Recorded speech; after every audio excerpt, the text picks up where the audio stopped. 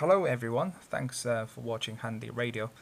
And if this is your first time watching my channel, welcome. This is uh, about the BF 888S, one of the best selling um, UHF, cheap UHF um, radios uh, on the market.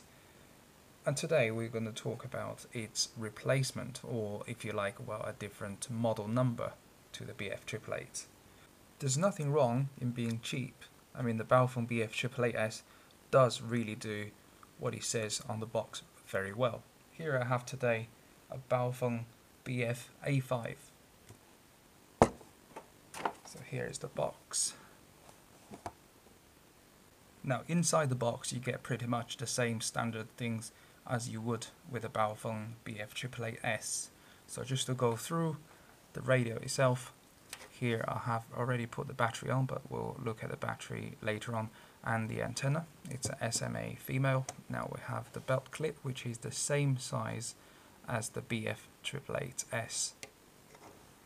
The shape of this desktop charger is different to the 888. So let's put everything else aside, just to look at the two radios here. On the left hand side we have the BF A5, it's a facelifted version, and on the right hand side is the original BF 888S. We'll start with looking at the similarities of these two radios. They both have 16 channels uh, programmable via a PC and to be honest the software to program these radios are exactly the same so there's no difference in terms of PC programming. The front of the radio has this sort of fake carbon fiber, it's plastic and so let's turn the radios to the side so you can compare the left hand side of these two radios. Instead of having two little orange buttons, the A5, the new one on the left, has got a sort of rubber surround of the key, the PTT button, just on top, and leaving the two side keys in black. It's very easy to put the belt clips on, so just undo the two screws on the 888S or on the A5 and you can just screw it back on with the belt clip in place. And to do your hand strap here the accessories jack on the right hand side of the radio. So on the A5 you have speaker microphone and the same with the BF 888S so in terms of the layout of all the connections and the buttons uh, if you look on top to radio you still have the two dials one the middle one is for the channels and the outside one is for volume and on and off. It's the same on the BF A5. So what's so exciting about this new model, this BF A5 on the left? Well, there are a few differences, so I will point out um, to you guys.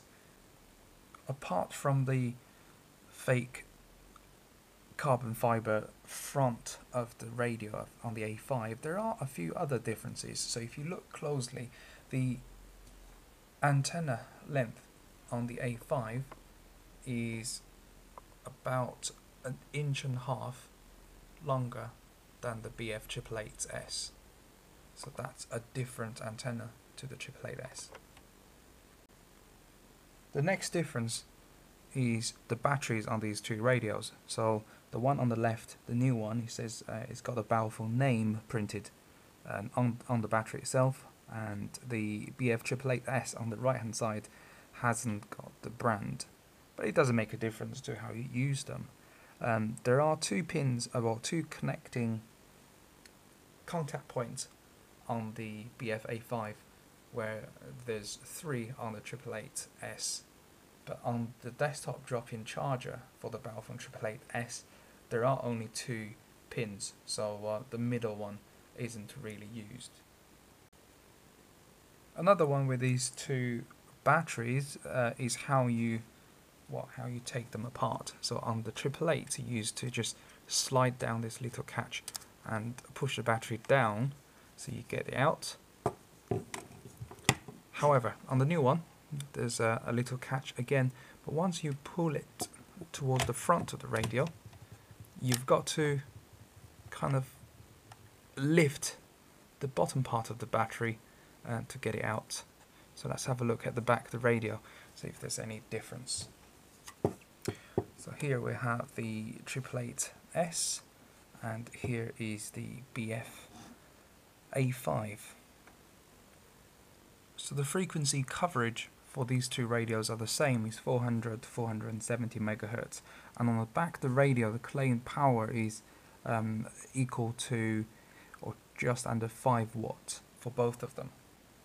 The standard uh, BF888S battery is uh, DC 3.7 volt, 1500 milliamp hours. So it's 3.7 is very different to uh, the other Baofeng, the UV5R range, which is um, about 7.4 volt. So let's look at the new battery on the BF-A5. Now this one, uh, the model number is BL-A, and the voltage is 7.4, and the capacity is 1800.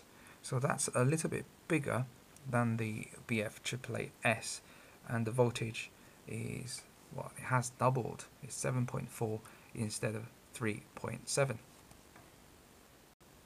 So I wonder, would the extra voltage in the battery, um, well, will it make the, the, the range better? Will it make the radio perform better? So the next video that I will be uploading will be on the range testing of the BF888S and the BF-A5 side by side on the UHF band. I'm sure some of you are aware of the different versions of the BF888 uh, and it, that applies to the BF-A5. When I say the different versions, if you see the, the letter K here on the blue sticker, that's the version where there isn't a voice scrambler on the radio. So it doesn't matter if you set it to on or yes on the programming software, it will not work. However, there are the update, the green sticker update kind of Baofeng 888, which is this one here, and it will do the voice scrambling.